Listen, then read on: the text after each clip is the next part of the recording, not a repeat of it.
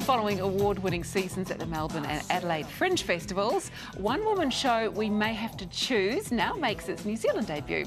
Actor and theatre maker Emma Hall promises to give us no less than 621 opinions. 621 in her 45-minute production. She's with us now in the Harvey Norman Lounge to share some of them. Morning, Emma. Good morning. So hang on, so it's 621 in 45 minutes? At least, yeah. Really? Yeah. Wow, that's an incredible amount.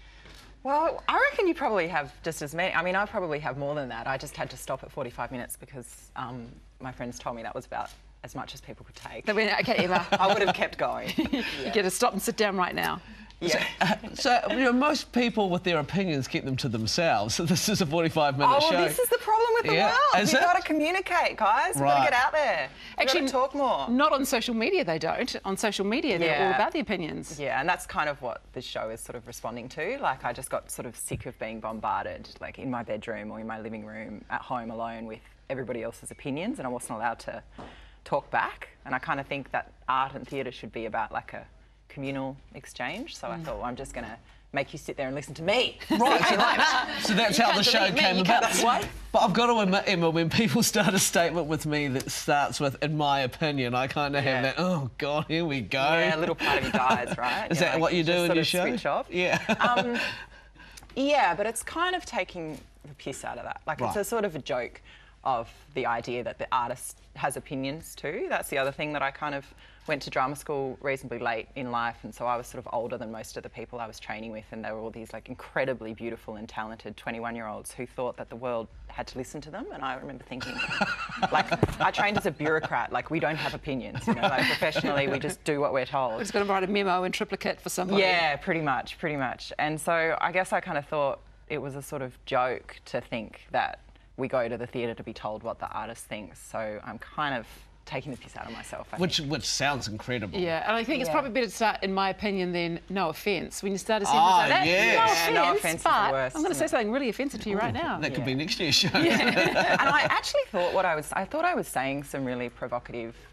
things, but actually people aren't finding it that way at all because for some reason they're feeling that it's a bit of a conversation. It's just a sort of internal, like there's a lot of space in the in the um, show where I pause quite a lot and the audience gets to think about what they think. They just don't get to stand up and, And say it. it. Right. So, yeah.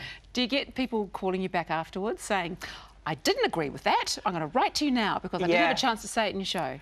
Um, I have people say, oh, I don't agree with, I don't agree with what you said, but I can't remember what that thing was because it was, you know, opinion 24 and they had to listen to another 600 of them or whatever.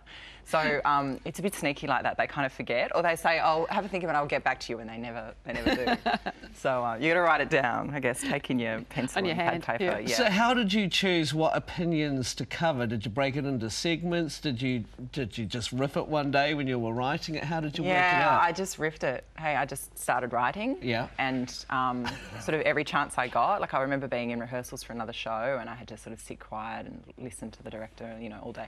And then I would come home and just write what I thought about that day. Um, and I went on for about three weeks. And like I said, then I thought I, my friend said, stop now. um, but Please, Evan, yeah, stop. So, there's- so did you find a pattern in that when you were, you know, when you were writing down your opinions? Was there a common theme that kept occurring? There's there's quite a lot about cleanliness. and, like having a clean bathroom, which must have had something to do with the fact that I was living with someone at the time who just never cleaned the bathroom. So I oh, was yeah. obviously like oh. think- I think- subconsciously obsessed I think with we've how all got opinions about people cleaning the bathroom. Well, no, because you go into somebody's house for a visit and then you go to their toilet and it says a lot about their. Sure does. Doesn't it? Yeah, See, I now- always think that. I You can, you can never that. actually visit me. So what sort of opinion, ever, either of you can, because I've got three children. I am remember, three- three boys, yeah. So what sort of things then? What sort of opinions do you have? I'm, I'm just curious. Is it all political? Uh, no, no. It starts with um, my opinions about um, hot water systems in the house and how to make the best toast. Oh, yeah. Um, and then it goes on to music festivals and how they should be set up, and um, what people eat in Russia and what I think about that. And I do get a little political. Um, Because that's your background, isn't it? Political science. Yeah, yeah, yeah. It's. I mean, one of the things that I was upset about in social media is the way I think the this kind of um, culture or habit we've got into of sharing opinions without being spoken back to actually breeds hate. I think it becomes easier to hate people because you don't spend human real time with them. So I, for me, one of the themes of the work is the kind of walls that we put up around people that are not like us.